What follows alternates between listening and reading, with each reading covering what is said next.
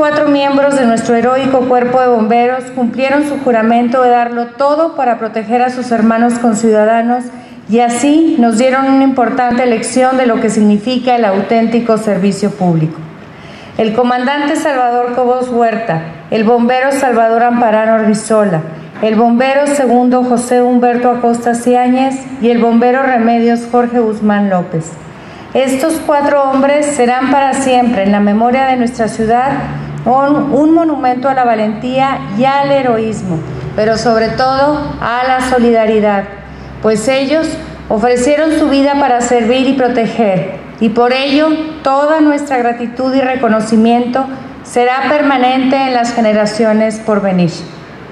Además de honrar la memoria de nuestros bomberos caídos, hoy celebramos también su gran victoria, pues han dejado detrás de sí un gran ejemplo de lo que significa entregarse por alguien más. Y con ello han dejado un legado que quedará por siempre grabado en nuestra historia. Hoy, además de recordar a nuestros hermanos que nos han dejado, recordamos también con orgullo el servicio incansable y permanente que nos otorga nuestro heroico cuerpo de bomberos todos los días. Por todo ello, les damos las gracias de todo corazón. Gracias porque con ustedes vivimos con la seguridad permanente de que si nos, de que si nos llegamos a encontrar en una situación de peligro mortal, siempre estarán ahí para rescatarnos.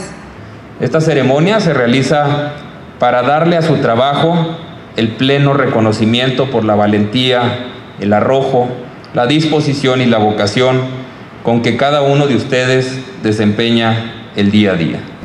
Reitero pues mi felicitación en este tradicional Día del Bombero. De veras yo se los he dicho siempre en corto y también en público los admiro, los respeto